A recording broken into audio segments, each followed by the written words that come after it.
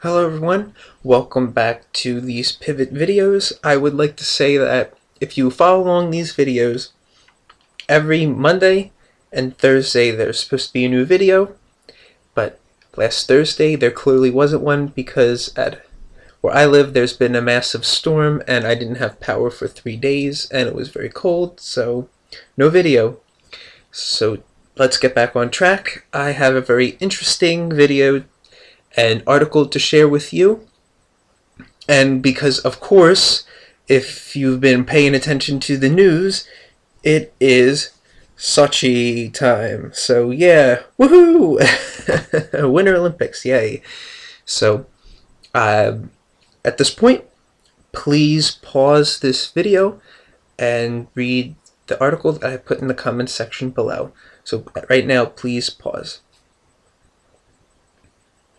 Well, so obviously you can see that uh, this figure skater, uh, Russian figure skater, the first uh, gold medalist for Team Russia is uh, Yulia, pardon the last name, Lipinskaya. I think that's how she pronounces it. Sorry if I didn't pronounce it right. But what a great figure skater, an athlete at 15 years old. She's going already at the Olympics and winning gold and winning big and uh, obviously congratulations to her and her coach and the whole uh, team.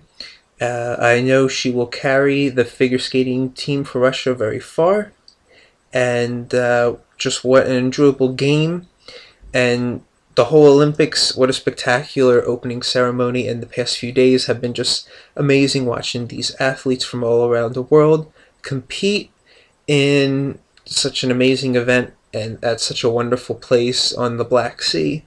And what pretty picturesque mountains, the Caucasus, yes, just amazing. And I wish everybody there good luck and hope everybody wins big and stays safe.